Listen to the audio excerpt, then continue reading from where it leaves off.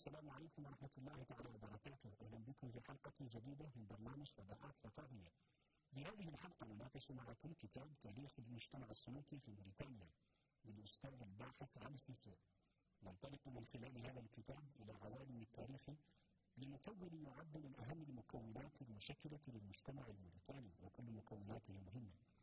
الكتاب طبعه المركز الموريتاني للبحوث والدراسات الاستراتيجية ويقع في 153 صفحة. قسم المؤلف الكتاب إلى محورين. تحدث في المحور الأول عن تاريخ المجتمع السلوكي القديم والوسيط والمعاصر. أما المحور الثاني من الكتاب فقد خصصه المؤلف للغة والثقافة والأدوار التي لعبها مجتمع السلوك في نشر الثقافة العربية والإسلامية. كما تحدث فيه عن العادات والتقاليد والتغيرات التي طرأت عليها. ذلك النظر في الفصل الرابع من هذا المحور إلى عاصمة المجتمع السلوكي جدماغا نرحب مرة أخرى بضيفنا الأستاذ علي سيسي وقبل الدخول في النقاش نترككم مع التقرير التالي الحفر في تاريخ المجتمعات هو نوع من البحث عن الذات أو الذوات المتعددة المشكلة لأمة ما. ويعتبر كتاب تاريخ المجتمع السنونكي لمؤلفه الأستاذ الباحث علي سيسي. أول بحث شامل ألقى الضوء على مكون يجعله عمقه التاريخي من أهم المكونات الموريتانية. هو المجتمع السنوكي يتحرك البحث في محورين أساسيين. يستعرض في الأول المسار التاريخي الذي سلكه المجتمع السنوكي في رحلته من أسوان المصرية إلى بلاد السودان. ومن ثم تأسيس مملكة غانا وحتى دخول الإسلام. ثم يسوق الباحث في المحور الثقافي وهو المحور الثاني التباين الذي شهدته اللغة السنوكية منقبا عن لغة أصل مسهبا في جانب التأثر الذي طالها والتأثير الذي أحدثته كلغة تعيش في فضاء غني ومتقارب إلى حد كبير. مبرزا جوانب التلاقح الثقافي وملقيا الضوء على التثاقف والتعايش وما ولد ذلك من ثراء وتنوع مستحضرا بحرقة وألم الدور الظلامي الذي لعبه المستعمر الفرنسي في محاولته قطع الصلة الثقافية والتاريخية التي تربط هذا المجتمع بثقافته الإسلامية من خلال حرق المكتبات وإيذاء أهل العلم وزعامات المجتمع التي وقفت له بالمرصاد. مؤلف الكتاب هو الأستاذ علي سيسي، أستاذ وباحث موريتاني من مواليد 1959 حصل على شهادة ختم الدروس الإعدادية 1993 ثم بكالوريا الآداب العصرية 1996 كما حصل على الإجازة في اللغة العربية وآدابها من جامعة دمشق كلية الآداب والعلوم الإنسانية عام 2001 وماستر في الفقه وأصوله من جامعة نواكشوط الحرة كلية الشريعة والقانون قسم الفقه وأصوله. وهو حاصل أيضا على دبلوم عام في الدعوة والخطابة من معهد إعداد الأئمة والخطباء برابطة العالم الإسلامي. وله عدة أبحاث تخصصية منها مفهوم العدد حجيته وتطبيقاته دراسة تطبيقية. تاريخ المجتمع السنوكي في موريتانيا وهو كتاب الحلقة. الإسلام في المجتمع السنوكي بحث لم ينشر. خطوات نحو التغيير حول ترشيد الخطاب الدعوي نشرته الدار العالمية للنشر والتوزيع. الأستاذ علي سيسي باحث متميز وداعية ضليع ومثقف واسع الثقافة السلام عليكم ورحمة الله تعالى وبركاته نرحب بكم مرة أخرى ونرحب أيضا الأستاذ علي سيسي أهلا وسهلا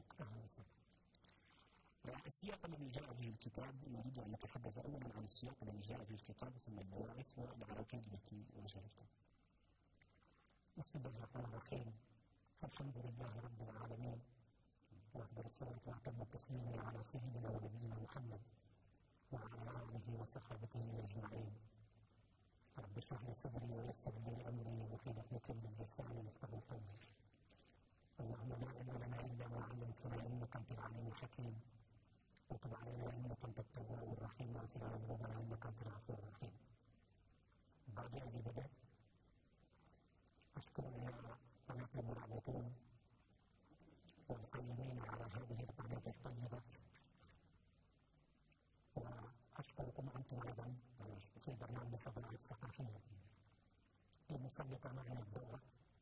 على هذا الكتاب المعنون بتاريخ المجتمع السوري في بريطانيا أما بخصوص سؤالكم السياق والبواعث التي جعلت الكتاب يخرج إلى النور. فكما قال صلى الله عليه وسلم من لا يشكر الناس لا يشكر الله نقول نبدأ بالشكر لإخوتنا القائمين على جمعية يدا بيد الذين كانت لهم المبادرة وبذور الفكرة حيث أسندوا إلى كل واحد ممن ينتمي إلى مكون من مكونات الشعب البريطاني أن يكتب له إطلاع على القومية أو الشعب الذي ينتمي إليه. من هنا تقدمت الفكرة. وبدأنا نبحث وجمعنا المعلومات. هنا يحدوني الأخلاق يحدوني إلى أن أذكر من جديد بالمركز الأمريكاني للدراسات والبحوث الاستراتيجية المتمثل برئيسها الدكتور محمد محمود السبيع والمعاونين للمركز الذين كذلك تشجعوا وأخذوا على نشر هذا الكتاب حتى خرج إلى النور بالشكل الذي ترونه بحمد الله ألقى الله على الكتاب قبولا فاستفاد الناس منه مما كنا نظن على أن سيؤثر أقل مما وصل إليه. ما عن البواعث التي نعم. أما البواعث طبعا الشعب الأمريكي الشعب السوري مكون من مكونات هذا هذه الدولة. كثيرا ما نقرأ عن تاريخ بريطانيا. في المؤلفات العربية والمكانيين الذين يتحدثوا عن تاريخ بريطانيا. كثيرا ما يتجاهلون وجود هذا المكون في هذا الحيز الجغرافي. ولا تكاد تجد في ثنايا الكتب المؤلفة في تاريخ بريطانيا باللغة العربية ما يشفي ضميرا عن بقية المكونات. كأن بريطانيا يعني تاريخها نسجه قومية معينة.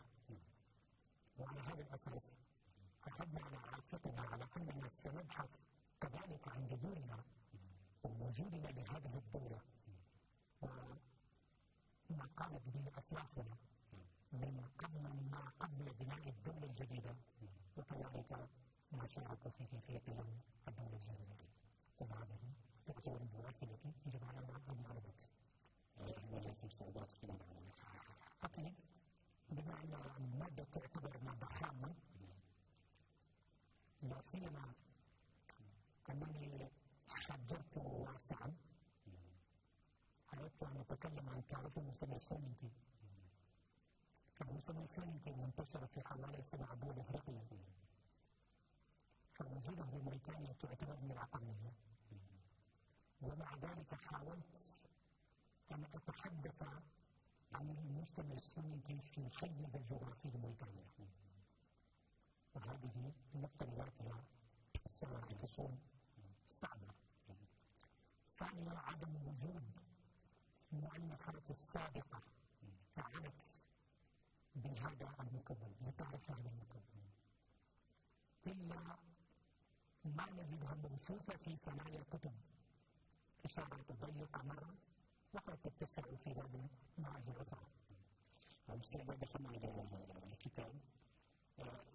أنتم تحدثتم في المحور الأول من الكتاب عن التاريخ القديم للمجتمع السلوكي وكذلك التاريخ الوسيط ثم التاريخ المعاصر. يعني كانت كان المحور الأول مدخل تاريخ جميل مثلا أنا تفضل نعم. تعرفون أننا نريد من خلال الكتاب أن نعرف المثقف والمجتمع ككل بهذا المكون الأمريكاني. لكي نعرفهم بها يجب أن نتحدث ولو إشارات سريعة عن تاريخها. تاريخ وجودها على الحيز الجغرافي تاريخ التفاعل بالاحداث السياسية والاجتماعية في هذا المكان. وعلى هذا الأساس قسمنا الكتابه إلى محورين اثنين. في المحور الأول خصصناه لثلاثه فصول الفصل الأول عن التاريخ القديم. والفصل الثاني عن التاريخ الوسيط. والفصل الثالث عن التاريخ المعاصر. يعني في المحور الثاني؟ قسمنا كذلك إلى ثلاثة أو أربعة فصول أخرى في المجال الثقافي. جيد في حديثنا عن حديثنا عن المجتمع السلوكي القديم تحدثنا عن البداية والى الأصول نريد أن الضوء على هذا الجانب عن الهجرة هل المجتمع السلوكي هجر من أسوان في مصر أو هو جزء من المكون البشري الذي استطعنا أن نميل إليه لما رجحت كثير من المؤلفين المهتمين بهذا التاريخ يصلون إلى هذه النقطة أنهم هاجروا من هجرات بالتالية من الشرق بالتحديد مدينة أسوان ويسيطون بهذا علاقة ما بين الاسم المطلق على هذا المكون وبين هذه الأرض المسمى بأسوان فيعتبرون على أن الاسم السني أصلا مشتق من كلمة أسوان بذاتها تعرفون على أن اللغة السنية بين كل لغة عندما تريد أن تنسب شخصا ما إلى محيطه إلى مكانه يجب أن تضيف إليه نسبة كلمة حتى يعرف به هي النسبة بالعربية مثلا. عندما أقول أنا موريتاني؟ عندما أقول أنا موريتاني وهو مالي وهذا سنغالي هل هي النسبة بالنسبة للسلوكي تتبعها بالنسبة لثلاث حروف؟ النون التعطية وعليه عندما ننسبه إلى مدينة أسوان تلقائيا يأتينا سؤال يمكن مع كثرة الاستعمال استغني عن الهمزة التي في أول الكلمة وعلى تصميم يمكن بدون صعوبة في ضبط الهمزة إذا وقع في بداية الكلمة فيحذفونها أو يميز يعني الأقل يسهلونها مثل السبان فيمكن يكون السبان بدون مثل همزة وعليه مع كثرة الاستعمال استغني عن الألف في البداية وأصبح لم تكنها سونيكا يعني هذه هذه هي المرجحة. هناك روايات أخرى بعيدة جدا لكن هذه التي هذه الرواية التي اعتمدناها مما مر عليه كثير من المؤرخين مثلا في إطار الحديث عن التاريخ القديم. نتحدث عن مملكة العالم مثلا التأسيس وعن النظام الاجتماعي والسياسي أولا نبدأ بالتأسيس نعم. هذه بداهة أي مؤلف أي شخص يريد أن يتكلم عن تاريخ المجتمع السني لا سيما في إفريقيا جنوب الصحراء. لابد له من أن يعرض على الامريكان أو الامبراطوريه على حد التعبير عن المؤلفين.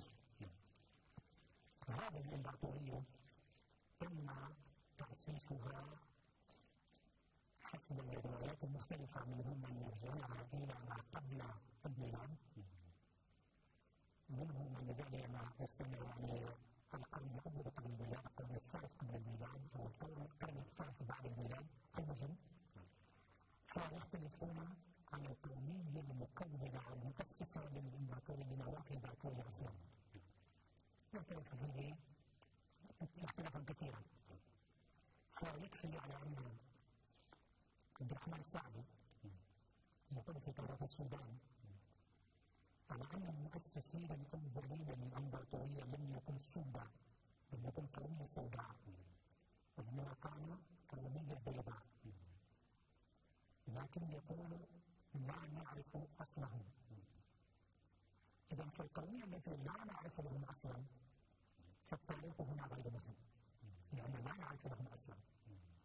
ولذلك جوزيف دي زيربو بعد مناقشة هذه الرواية يقول ومهما يكمن الأمر فقومية سوداء هي التي أظهرتها إلى الوجود.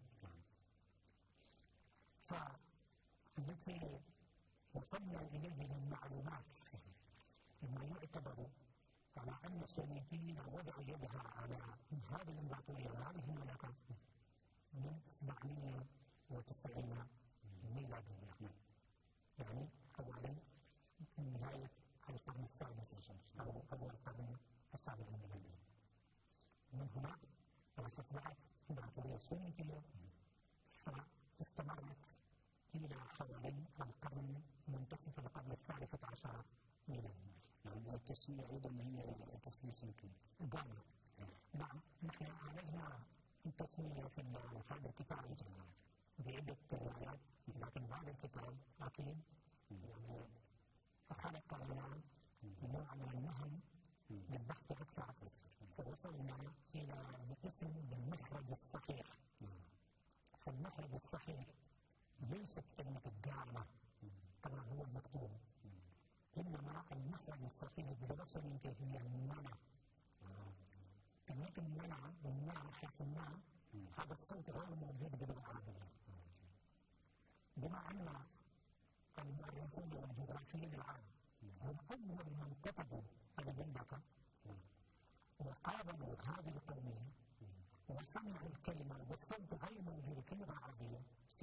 حاولوا أن يكتبوها بحرف قريب من المخرج إذا بدل أن يكتبوا المعنى لأنها غير موجودة فكتبوها بغير معنى ولكن التفسير الذي فسر به البكري هي التي تؤدي إلينا بأن الاسم الصحيح هو أن نتصل بالمنع لأن المنع حسب التفسير البكري تطلق على القيادة العسكرية. يعني على الشخص بمعنى ما يطلق العام أصلا في الجاهلية لما يطلقون كلمة الفتى هي نفسها ترجمتها الصحيحة كلمة الفتى منع بالرسول هي تبقى رواية أخرى التي ذكرتها بالكتاب. يبقى روايات كلها روايات نستقيها من هنا ومن هناك نستأنس بها. جميل جميل. إذا في إطار أيضا في داخل الكتاب نتحدث عن مرحلة أخرى نتحدث أولا عن البداية والتأسيس ثم لا يختلف اثنان أن في الفترة التي قويت فيها المملكة كانت يومئذ تحت بقيادة ملوك من السلطة وهذا ما ذهب اليه بي على انه يكون أمر ان كان كان لها ملوك أو حوالي ما يقول الناس انها 44 ملكا يستمر قبل الاسلام ويتوسل بعد الاسلام يقول له يكون الامر الذي أخرجه إلى وجود هذه القوميه بمعنى أصبحت لها قيمة دولة قائمة بأركانها. إذا هنا قبيل الإسلام.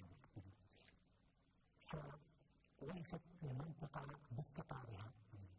بحكمها فدخلت في المجال التجاري مجال الاقتصاد سنعود اليه لكن اولا نتحدث عن النظام الاجتماعي اللي كان طاغي في طبعا هذا مرتبط بهم فبما أن المجتمع مجتمع متحضر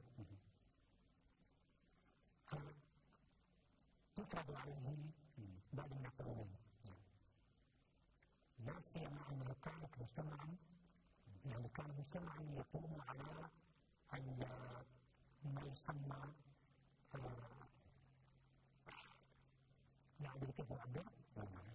ذاتيا الاكتفاء الذاتي وعليه فالتنظيم الاجتماعي أنه يعني مؤسس على تقسيم العمل. فكانوا يوفرون ما كل حاجة. فقسموا العمل فيما بينهم. وأسندوا مهنة الحدادة لفئة معينة من الناس يمتحنون هذه الحرفة ويقومون بتوفير ما يحتاجه المجتمع من أمور يتعلق بهذه الحرفة. ووفروا مجموعة من الناس يقومون بعمل الخياطة يمتحنون هذه الحرفة ويتوارثونها فيما بينهم. ووفروا مجموعة من الناس كذلك يمتحنون حرفة الصيد يتوارث يتوارثونها فيما بينهم. وعليه قسموا العمل بينهم تقسيما اجتماعيا تقسيما وظيفيا عمليا. وإن كنا اليوم ننظر إليها على أنها تقسيما طبقيا. النظام السياسي ذكرت في الكتاب أنه كان نظاما الاستقراطيا نعم. نريد لمحة عن هذا جنب التنظيم السياسي في مملكة غانا نعم. إذا فالتنظيم السياسي كان كذلك تنظيما مجتمع فالتنكر برسول كما الملك كان يحيط به هؤلاء كبيرة من المجتمع من المجموعة من القواد العسكريين وكذلك من المستشارين وأغلبهم من أبناء الملوك الذين يعني يهزمونه في الحروب منهم كذلك أبناء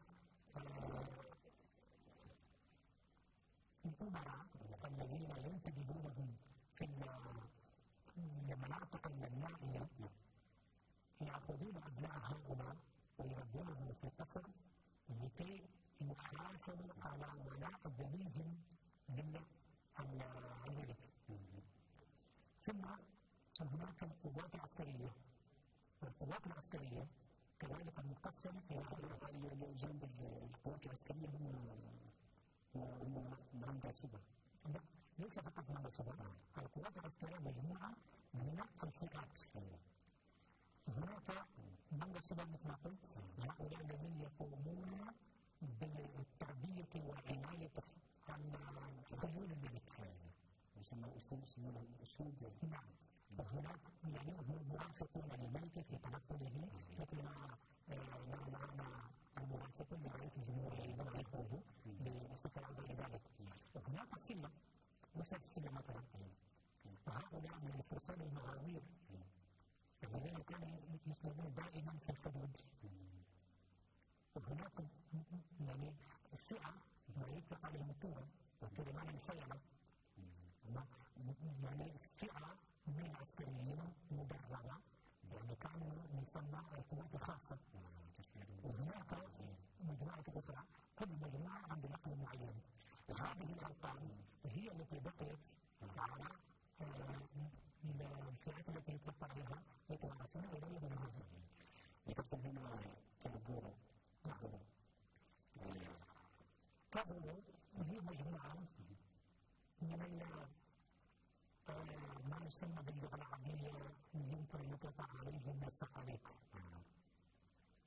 الذين لم يكونوا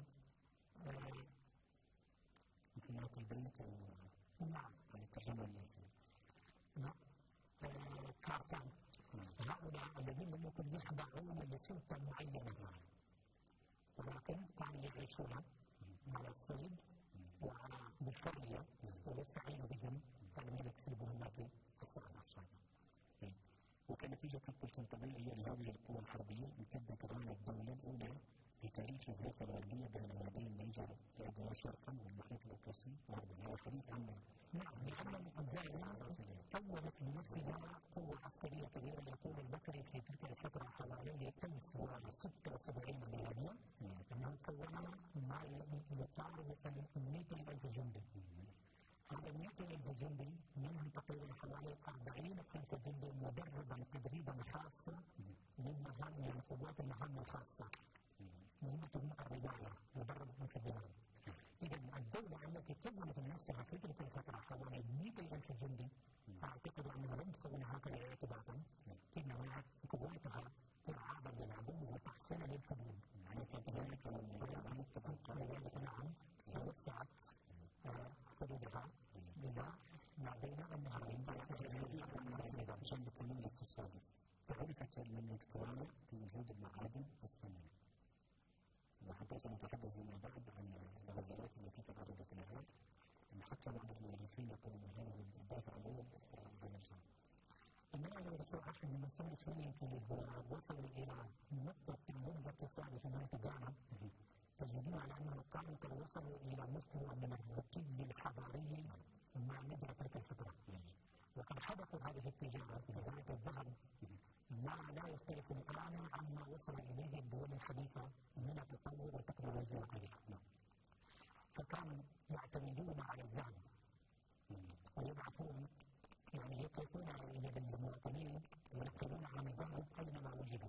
مثل ما هو بريطانيا عن ينتشرون في الصحاري يخافون ينقلون الذهب وقد ربطوا أسعار الذهب في تلك الفترة بأسعار العالمية كما يقول بكري على على عمده بكري وليس علي اذا فحلقوها وكان المنقبون عندما يحصل احدهم على الندره من الذهب يأتي به إلى الملك ليحرزها وأما إذا حصل على ما يسمى التبر يعني ذهب رقيق فهذا يترك للمنقب نفسه يعني يعني يتصرف فيه يقول بكري ولولا هذه السياسة لكثر الذهب في الايدي ولقلت اسعاره في الاسواق ولكن بهذه السياسة ترك مرونه للمنقبين المواطنين كل واحد له حظه لمن يحصل على يعني شيء من والكبر كان يتصرف فيه واذا حصل على هنا في الصفحه 34 يظهر اذا ان مملكه غانا قد اكتسبت شهرة عظيمة من وجود هذه وجود هذا المعدن الثمين في أراضيها حتى أن الملك كان يدعى كأن معه ماذا؟ تنميم معه كان وبالتالي التنميم من كلمة التنميم أيضا بيصطلح المخارج العربية بمعنى ذلك الذهب ذلك لأنه على عرش ذهبي وليس من الإسراف في شيء إذا قلنا إن السودان كان المصدر الأساسي للذهب في البحر الأبيض المتوسط في العصور الوسطى.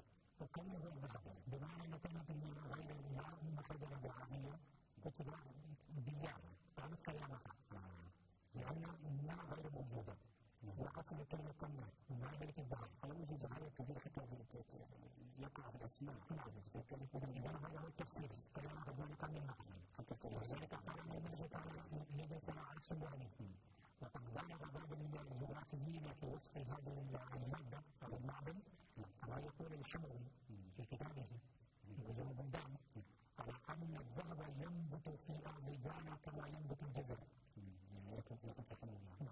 نعم جيد إذا دخلنا مثلا دخول الإسلام إلى لا ينتهي عن الوقت نعم كيف دخل الإسلام إلى مملكة غانا؟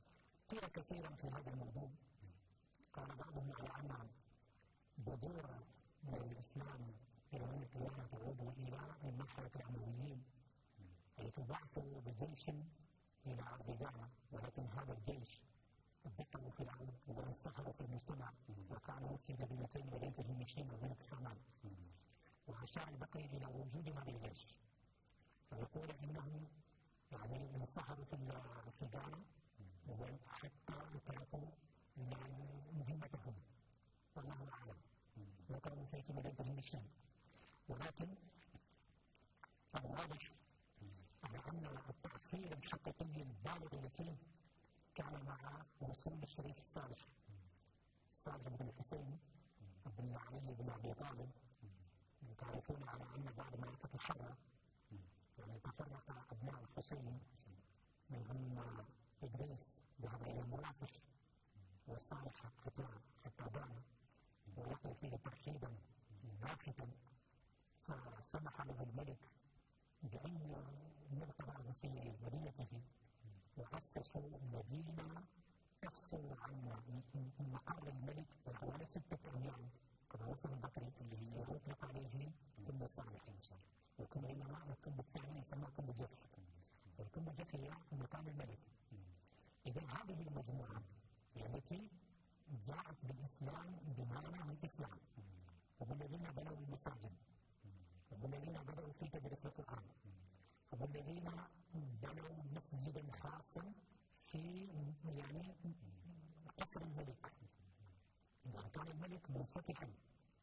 كثيرا من الانفتاح حتى يحوله اذا حتى سامحهم بمراسيم التحية وغير ذلك.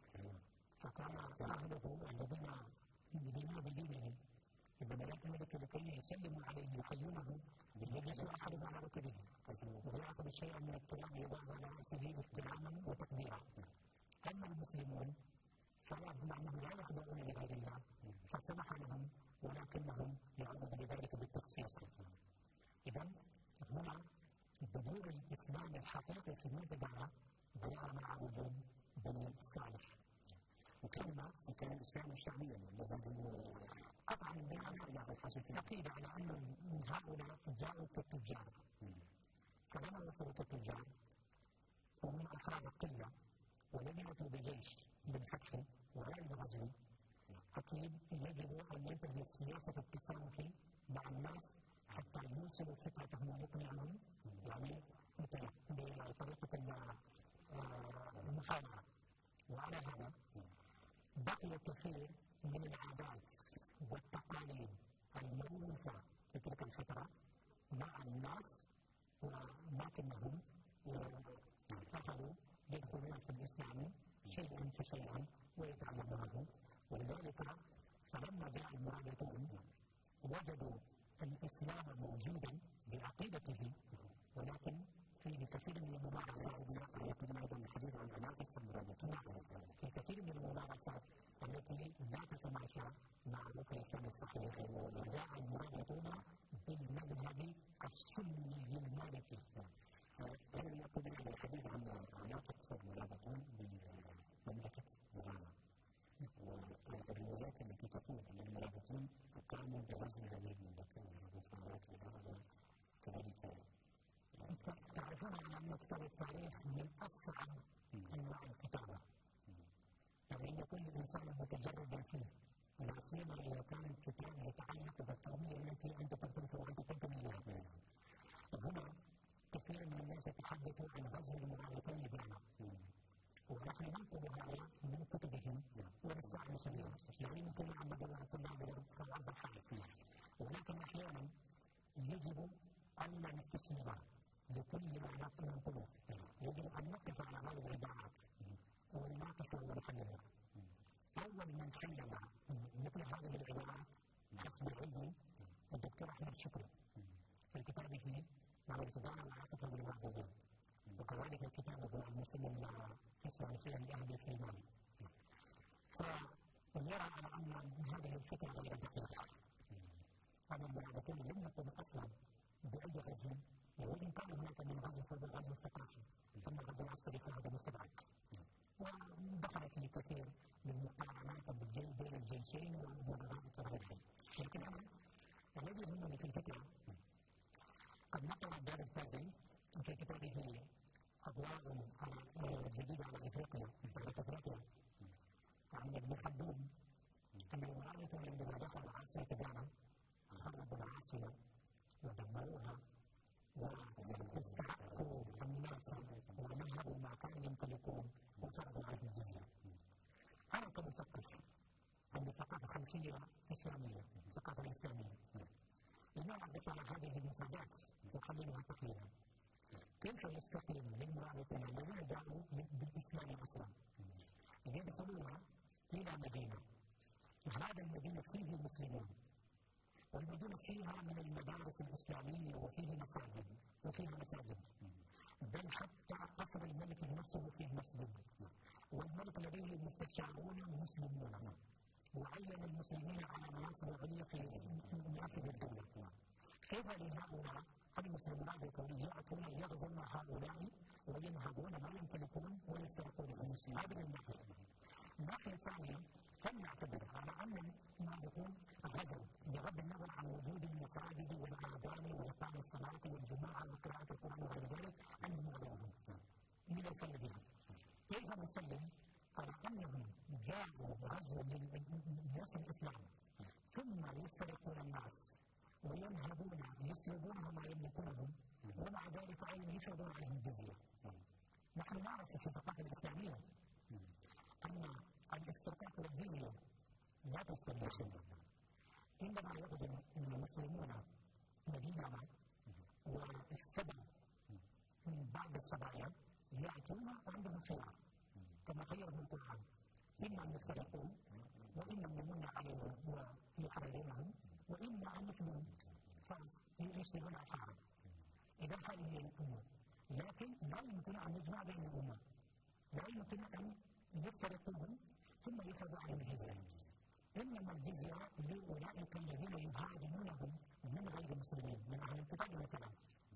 فهذا هزموهم ولم يغزوهم لقاع أن نحن ظهورهم يفرض عليهم شيئا من الجزية يدفعوها في الأصل جاء في بث الإسلام الصحيح الصحيح وإذا كنا مع أن بعضهم جاءوا لبث الإسلام الصحيح والقضاء على بعض البقايا التقاليد والعادات الموروثة التي لا تتماشى مع الإسلام كل هذا أعتقد أنه يؤيد الفكرة التي يعني تستبعد غزو المعبدين لذلك. طيب طيب دور السلوكيين في مصر والإسلام. هذه النقطة هي أيضا نقطة بارزة جدا في محمود شاطر في كتابه عهد المماليك يقول بالحرف الواحد على أن هذا المسلمين السنة بعد دخولهم للإسلام.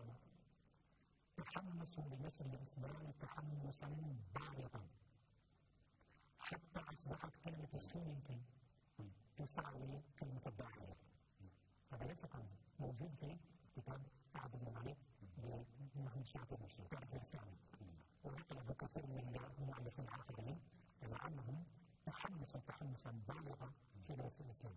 ومما يؤيد هذه الفكرة يعني انصهار السني في بقية القوميات الإفريقية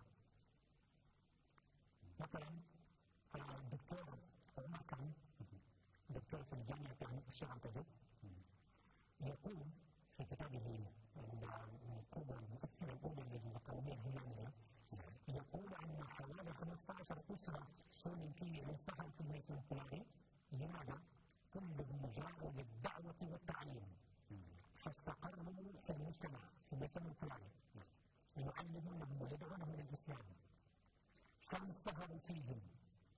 وبقيت الأسماء والألقاب ويعني تناشف هذه العادات وتناهج نعم. هذا بالنسبة لقانون الهمانيه وكذلك عندما تذهب إلى العروسه وعندما تذهب إلى الماندو والبابا تجد كذلك عدم مجموعة كبيرة من المسلمين السنيين قد انصهروا في هذه المجتمعات كلهم إما جاءوا إما للتجاره لأنه كانوا يمارسون التجاره وإما للدعوه وهذا الدليل على أن كانوا متحمسين تحمسا بالغا في نشر هذه الثقافه الاسلاميه. طيب المحور الآخر والجانب الآخر الذي تحدث عنه في هذا الاطار هو هجره المجتمع السلوكي إلى الجنوب. وهذا كذلك طبعا مدة جديدة. في ولاية الجنوب وكذلك في تشريد آخره.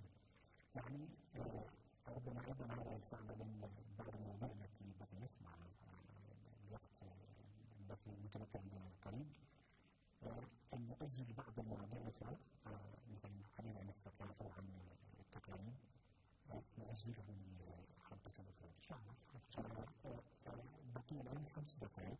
نريد أن نتحدث فيها من خلال هذه الدقائق نتحدث عن هجرة المجتمع السلوكي من إلى الجنوب ثم نتحدث بعد ذلك عن إذا وجدنا من الوقت ما يكفي نتحدث عن هذه المدن التي هاجر إليها سلامترا وهي الآن لديها اسماء ما زالت تحتفل بها وعندها أبعاد ترجع إلى المجتمع السلوكي والامور السلوكيه.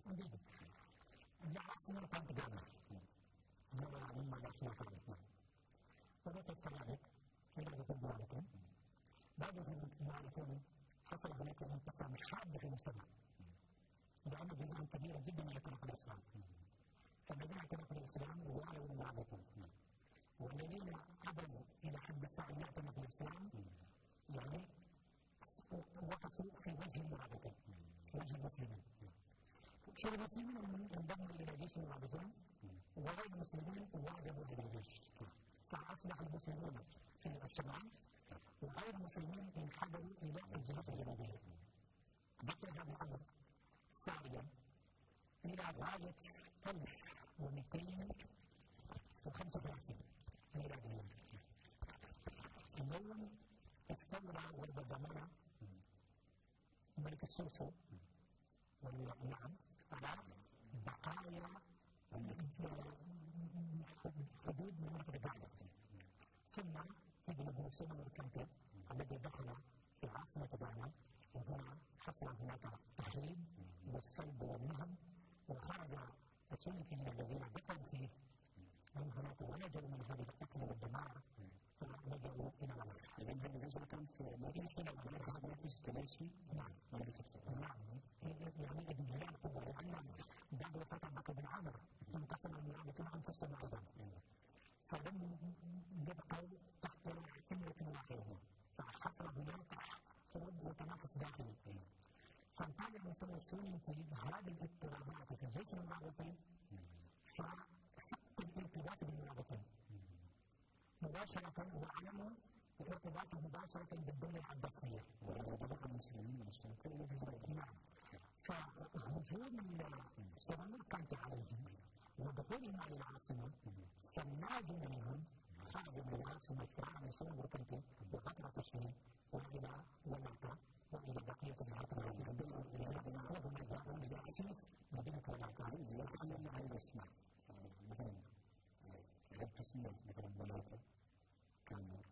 بالنسبة لولاتا ليست كلمة إنما اسم سوري كتير بيرة وبيرة معناه بيرة معناه عيش وبجمعها معاش يعني بيرة يعني هي اسم سورية ولكن مثل هي اسمها أول ولد إذا الناس تأسست وانضمت فيها جالية كبيرة جدا من العالم وتجار العرب وتجار السنتيين والذين هاجروا من دانا وكذلك السمهاجرين فحصل هناك سوق رائج سوقا للثقافة وسوقا للتجارة الزراعة أنتج لغة خاصة ما يسمى لغة التي كانت منتشرة الجفاف ترجمان في حديث المخرج في شعبين إذا تحدثنا عن هذه المدن قلنا أن أصل السلوك الولايات والتسمية السلوك الولايات هي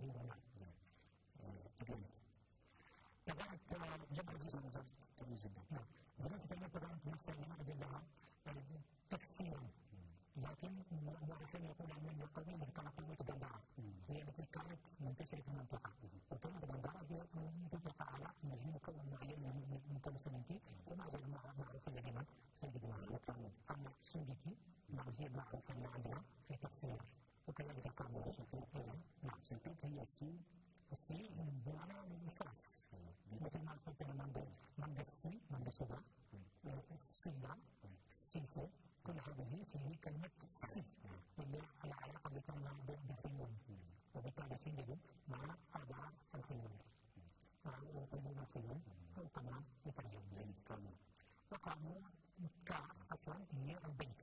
أو المقر مثل أوكار إذن مو بمعنى البحث وتركيب الكلمة يعرف عن الأخير إذن كلمة أخيرة نختتم بها. الكلمة الأخيرة أرى أن نحن مسلمين الموريتاني لأسماء الشباب المثقف من المفترض علينا الآن أن نبحث عن المشتركات ولا يمكن أن نصل إلى هذه المشتركات إلا أن نتعرف على بعضنا وتعريف بعضنا البعض والعلاقة التي تشابكت وأنتجت هذه الدولة من البداية إلى يومنا هذا حتى نستطيع أن نحترم كل الآخر لأن صلى على المسائل على كمان من جهل الجهل والعدالة مشاهدينا الكرام نشكر الأستاذ علي سيسي على تشريفنا في هذا البرنامج والسياحة التي قام بها معنا في تاريخ المجتمع السلوكي في موريتانيا ونشكركم أيضا على حسن المتابعة. نتابع حلقة أخرى إن شاء الله من هذا البرنامج ونعتبر هذه الحلقة الحلقة الأولى. الحلقة القادمة إن شاء الله عن الجانب الثقافي وعن العادات والتقاليد إلى ذلك الموعد نستودعكم والسلام عليكم ورحمة الله.